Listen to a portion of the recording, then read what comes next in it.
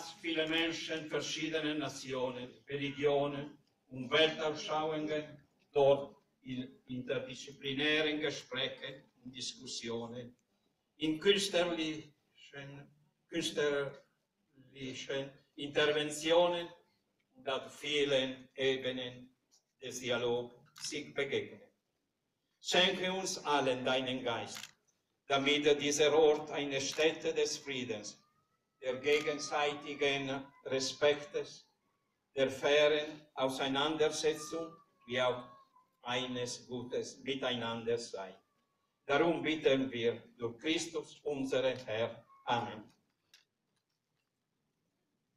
Es segnete euch der allmächtige Gott, der Vater und der Sohn und der Heilige Geist.